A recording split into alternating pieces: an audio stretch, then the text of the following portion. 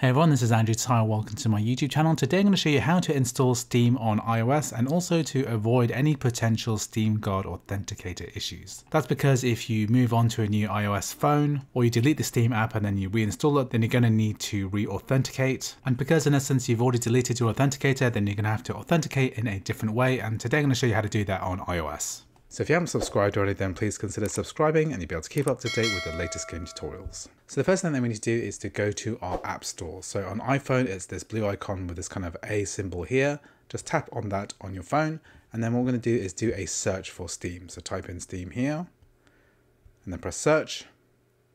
And then we have this application called Steam Mobile. So what we can do is press the get button to download it for the first time, or I'm going to re-download it here with the cloud icon with the arrow pointing down. That's going to download onto my iPhone now. So once that's downloaded, we can press the open button or we're going to find it in our app library. If you just go and scroll right on your home screen, you're going to find it in recently added here. I'm going to click on Steam. Here we're going to allow it to send notifications, press allow. And then what we're going to do here is type it in our Steam account name and then password as well. So I'm going to do that now.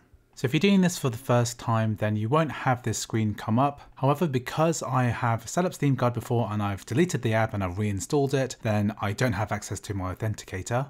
So therefore I'm going to press I cannot access my Steam Guard code. Then I'm going to press I no longer have access to my authenticator. And then once I get to the next screen, I'm going to press move authenticator. So that's going to move it to this device. So now it's saying it's sent a code to my phone. So what I'm going to need to do is check for SMS messages. Then if I check my iPhone messages, I'm going to see a authentication code, which I'm going to copy and paste from my SMS messages. Then I'm going to go ahead and paste it into this app. And then here you're going to get a recovery code, so make sure you keep a hold onto this and keep it safe.